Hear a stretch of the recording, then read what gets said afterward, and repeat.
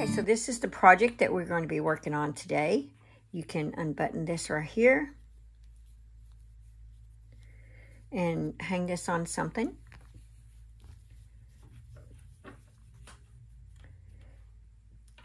Is it's about 12 inches and then with this buttoned we're looking at about 14 inches with this on there. Okay, here's the back side. Here's the front side. And I think you are going to love this stitch. Look at that. It is beautiful. And we're going to do some surface slip stitching. If you don't know how to do that, this is the uh, place to learn. Okay, guys. Um, let's see what supplies you need for this. Um, I'm just using a three-weight yarn, and I'm happen to be using some Friends Cotton 8-8 and Rainbow Cotton uh, from Hobbii. They're a three-weight, three light, 200 yards in the dark, and about 50 yards or less, really, in the white. Um, and then you're going to need a pair of scissors, a one and one fourth inch button, a G 4.0 millimeter crochet hook, and you'll need a yarn needle to uh, weave in your loose ends. Okay, guys, let's go ahead and get started with this project. So we're going to start off chaining 53. So I'm going to leave a loose strand of yarn here. I'm putting my hook behind my yarn, and then I'm twisting around like that. Okay. And I'm going to grab my yarn and pull through the loop on my hook. So that's one chain grab my yarn, pull through the loop on the hook. That's two chains. And just keep repeating that till you get 53 chains. Okay, so I will meet you when you get to the end. Okay, so I just reached the um, amount of 53 chains. So now we're going to single crochet back loop in the third chain from the hook. So here is the back loops right back here. Here is the front. Normally you would go into this loop right here, but this time we're going to go into the back loop. Okay, so one, two, three, single crochet in the third back loop.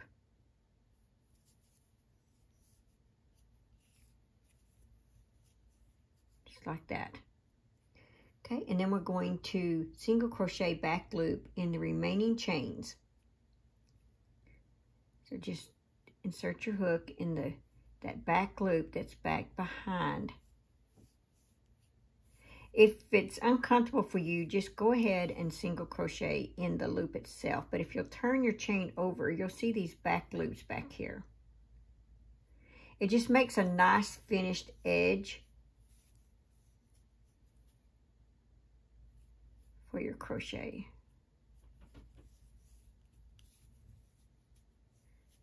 Like that.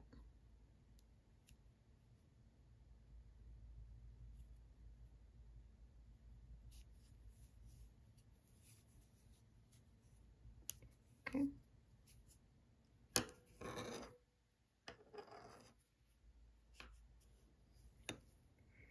Like I said, just turn it, that's your front, and then turn it and look in the back, and you'll see these little back loops.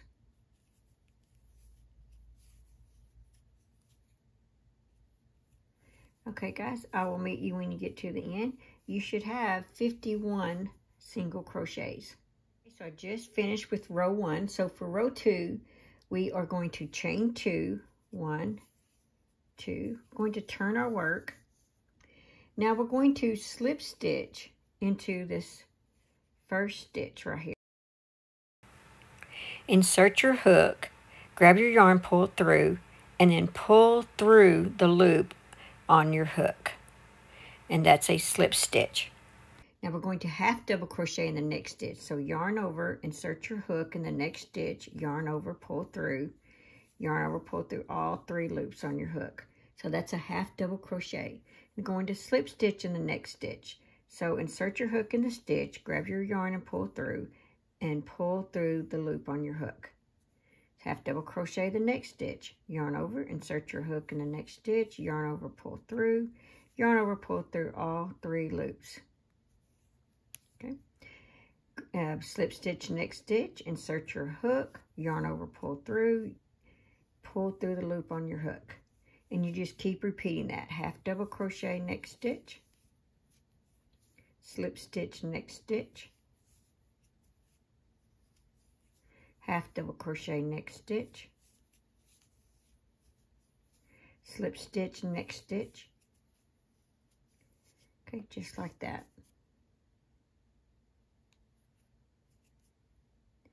Okay, so I will meet you when you get to the end. So I just finished with row two. So for row three, we are going to chain two, one, two. Going to turn our work. Okay, so for row three, four, and five, you're going to repeat row two. And then row six, we are going to actually change into the light colored yarn. So I'll get you started on this row three, but it's three, four, and five are all repeating row two. So we're going to slip stitch into the first stitch. So insert your hook, grab your yarn, pull through, and pull through the loop on your hook. And then you're going to make a half double crochet in the next stitch. Slip stitch in the next stitch. Half double crochet in the next stitch. Slip stitch in the next stitch. half double crochet the next and just keep repeating this all the way across and just do that for rows three, four, and five. And I will meet you when you get to the end of row five. Okay, so I'm finishing my last stitch, which is a slip stitch.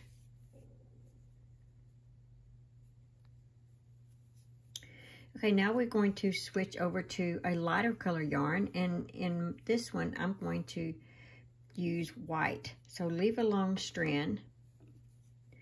Insert your hook in the two front loops.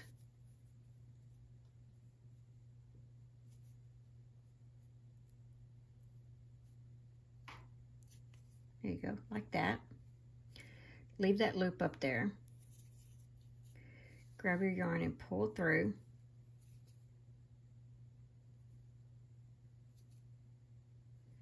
Okay. And go ahead and make two chains.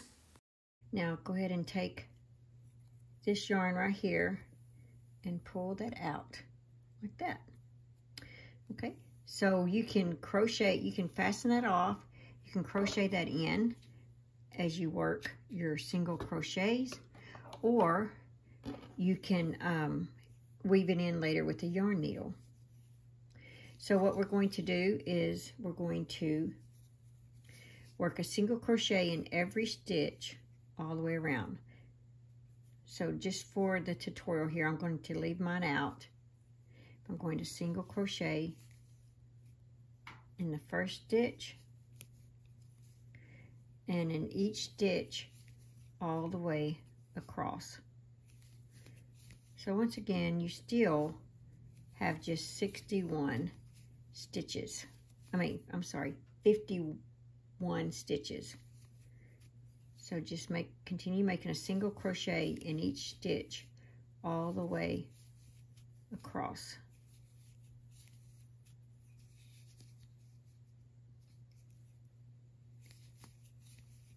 Just like this. Now when you get to the end, you're going to, um, this is row six, rows 6 through 12 is just one single crochet in each stitch all the way across.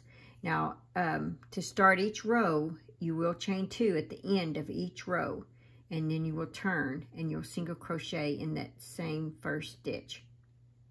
So do that for row 6 through 12. And I will meet you back when you get to the end of row 12. So go ahead and pause this video and um, work single crochet all the way up to row 12. And this right here is what you're working. You just finished these. Now you're working rows 6 through 12. Is Don't worry about this stripe. You're going to go back in and do this surface slip stitching later. Right now you're just working single crochet all the way up. for uh, six row six through 12. And like I said, be sure and chain two at the end of each row. And the reason I do that is because it helps the sides of your, it helps the sides here um, just be more straighter, I feel like. And you see how working in the back bump, how it made that bottom row pretty? Look at that. It's very nice of a bottom row. Look at that. Very pretty. Okay, so I'll meet you back at the uh, end of row 12. Okay, so we're on my last stitch for row 12. So go ahead and make your single crochet. Just pull up a loop. Now once again, to change colors, because now to change colors, I'm going to insert my hook behind these two loops right here. You can change colors however you'd like, but this is just the way that I prefer to change colors. Okay, so now I'm going to grab my new color. I'm going to pull it through. So I'm going to go ahead and chain two. All right, now I'm going to take that white yarn and pull that like that. And it is locked in there. So I'm going to fasten off the white yarn. Now we're going to work the rest of this with this darker color yarn. So I've chained two. Now I'm going to turn my work. Okay, so now you're going to, for rows 13 through 50, you're going to repeat row 2. So once again, you're going to slip stitch into that first stitch going to half double crochet in the next stitch. Slip stitch in the next stitch. Half double crochet in the next stitch. And just keep repeating this all the way across. Slip stitch in the next stitch. Half double crochet the next stitch. Just keep repeating that all the way across. And um, when you get to the end, be sure and chain two. And if you want, you can go ahead and weave your ends in. If you'd like, I think I might go ahead and do that with mine. And, um, yeah, so just rows 16, I mean rows 13 through 50, you're going to repeat row two. All right, guys, I'll see you in a little bit. So when you get ready to add um, another skein to your project here, here's how you do it. This is your, um, your the one that you have that you're working on, and this is your new skein. So you just put them together like this. Okay, take this yarn and wrap around and have that yarn in there. Wrap around your finger. Pull it over the loop. And then tighten it. Okay and then you're going to do this in the same way. So let's watch this again. You can put it in slow-mo if you need to. Wrap the yarn around your thumb. Make sure that yarn is back there like that.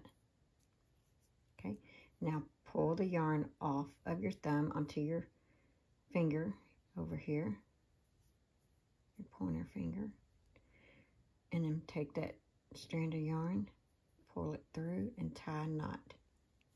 So you have two knots.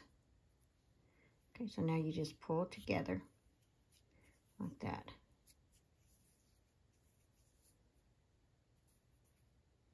And then you can take these two strands. At this point, you can fasten them off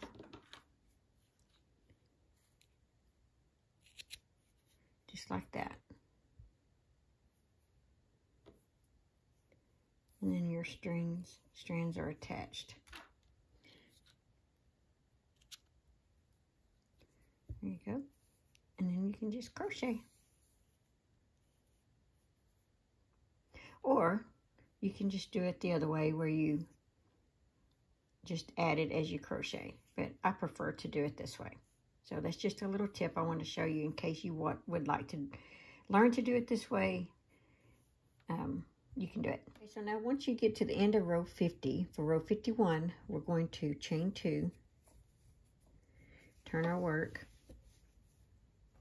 and we're going to make a half double crochet in the first stitch.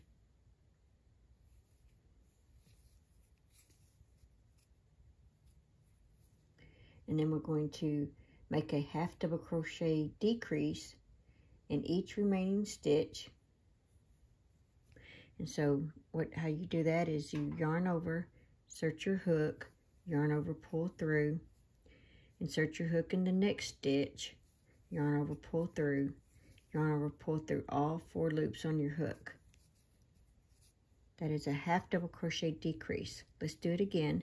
Yarn over, insert your hook in the next stitch, yarn over, pull through, insert your hook in the next stitch, yarn over, pull through. You got four loops on your hook, yarn over, pull through all four loops. And then just keep repeating that. Yarn over, insert your hook in the next stitch, yarn over, pull through, insert your hook in the next stitch, yarn over, pull through, yarn over, pull through all four loops. And just keep repeating that all the way across. I just finished with row 51 and you should have 25 stitches. And it's starting to pull in like this because of your decreases. So go ahead and chain two, one and two. Turn your work. And now for row 52, we're going to work half double crochet creases, decreases all the way across. So that means you should end up with 13 half double crochets. So once again, yarn over, insert your hook in that first stitch. Yarn over, pull through. Insert your hook in the next stitch. Yarn over, pull through. Four loops on your hook. Yarn over, pull through all four loops. Do it again.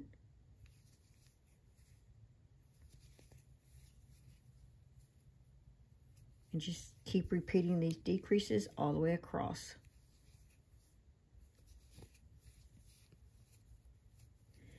Okay? And you should have 13 half double crochet decreases. Okay, so I just finished my last half double crochet decrease for row 52 and I have 13 stitches. So for row 53 through 70, we are going to work half double crochet all the way across. So chain two, turn your work you just work a half double crochet. Just like that. It's one two three four five. Just keep doing that just like that all the way across. And when you get to the end you're going to chain two turn and do it again and you're going to do that for rows 53 through 70. Just make sure you always chain two and then turn your work. All right, I'll meet you when you get to the end of row 70. Okay, so now we just finished row 70. So for row 71, we're going to chain two, turn our work. And for row 71, we're going to half double crochet in the first five stitches.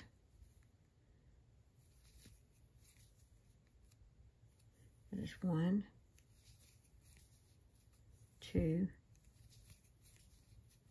three,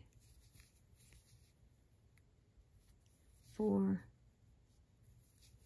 and five. So now we're going to chain three, one, two, and three. Now we're going to skip the next three chains, one, two, three, and in this fourth chain, we're going to do a half double crochet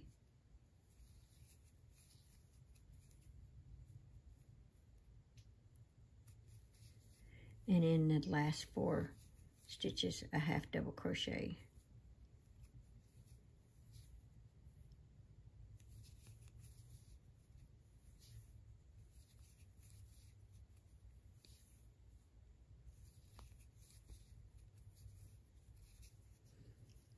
Okay, so for row 71, you should have five half double crochets, a chain three, skip three, and five half double crochets for row 71. Okay, so for row 72, we're going to chain two, one, two, turn our work,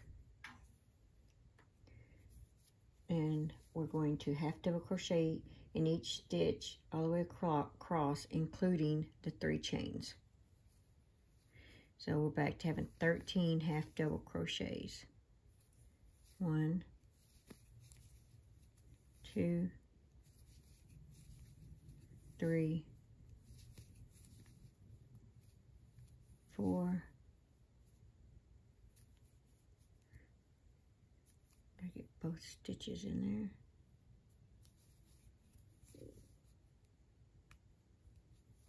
there. Five. Okay, you can go ahead and crochet under them if you'd like, or you can crochet in the chain. I'm just going to crochet underneath. And there's all three. Okay. And now I have double crochet in the last five stitches.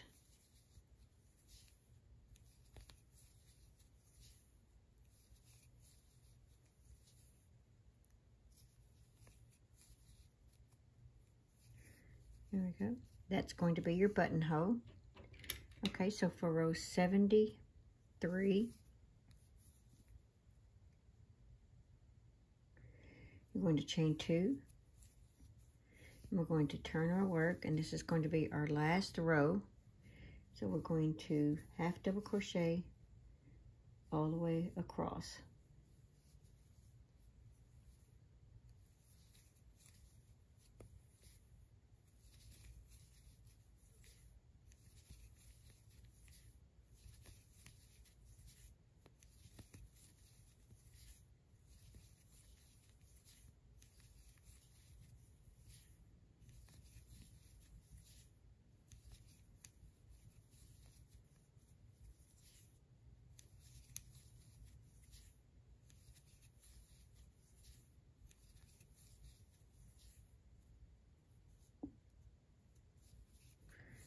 Okay, so I just finished that last one. And now we are done with that. So we're going to go ahead and fasten this off.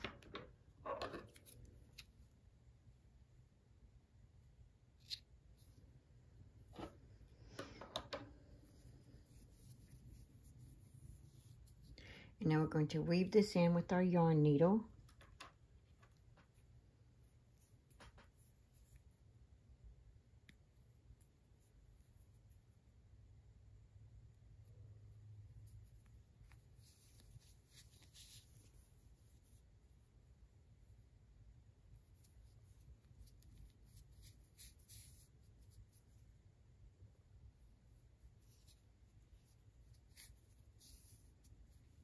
We go. Go ahead and fasten that off. Okay, so this is what we've got now.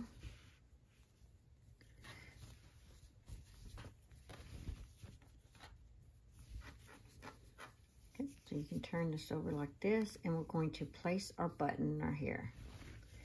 And make sure that this is your front side. And I don't know if you can tell it or not, but the back side where this dark uh, yarn connects to the white yarn, it has a little bit of that light yarn showing through. I'm using that as my back side. And see the front doesn't have that. Okay, so that's where I'm folding this over this way so that I can place my button right here. And you're going to use a strand of yarn.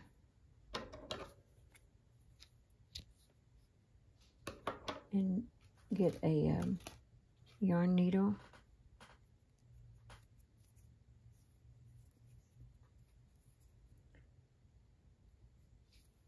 Just thread it like that.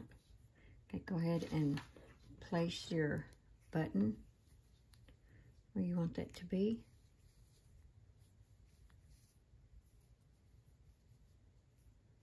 About like that. So go ahead and take your yarn needle through the back side. Make sure you leave a strand of yarn because you're going to tie it off. So I'm going to leave about that much. And just go back through. And you may have a, a four hole or a two hole um, button.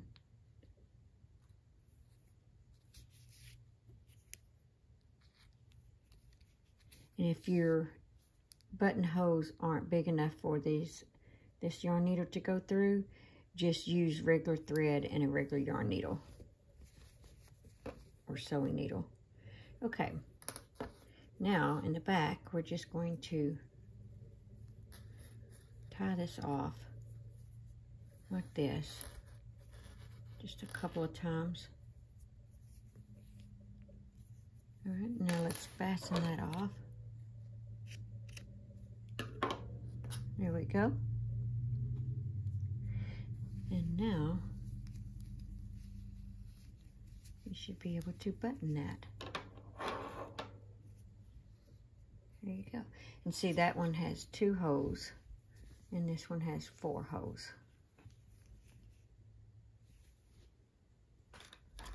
Okay, so the last thing we need to do is our slip stitch. Now here's the slip stitch if you choose to do that. So you, you don't have to, but you, you can leave it like this if you want, or you can add the slip stitch. So I'll go ahead and show you how to add slip stitch. We're going to work on this row right here. We're going to insert our hook. Going to grab the yarn underneath, pull through, leave a strand of yarn. And you're going to work with the yarn from the back side. and just go into the next stitch grab the yarn back there it's a little hard at first and then pull the yarn through. So go into the next stitch grab the yarn from the back side pull through. Okay. Insert your hook grab the yarn from the back side pull through. And just keep repeating this all the way across.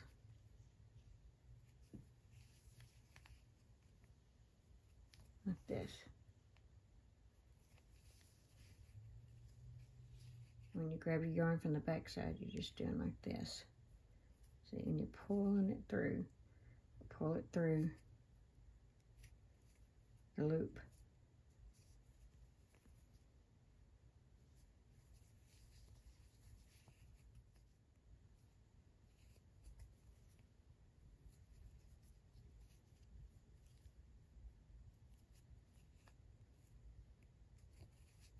Okay, I'll meet you when you get to the end.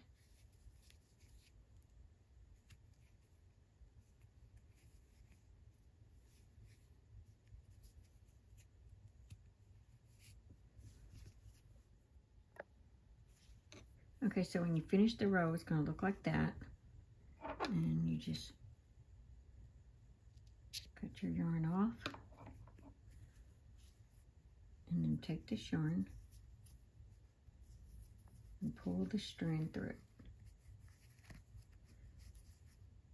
Okay, and then when you get the other end that you started with, you're going to take your yarn needle and looks like I should have left my strand a little longer. So guys, you're watching that, leave your strand a little longer. You're going to go into that stitch right there. And it's going to smooth that one out. Make it nice and even. Okay, and then you just weave this in as you um, go to the next row. So what you're going to do here is you're going to do the same thing right here and right there. And if you want, you could just do it here and leave this open, or you can just leave it all open. You got options. Thanks for watching. Please like, comment, and subscribe.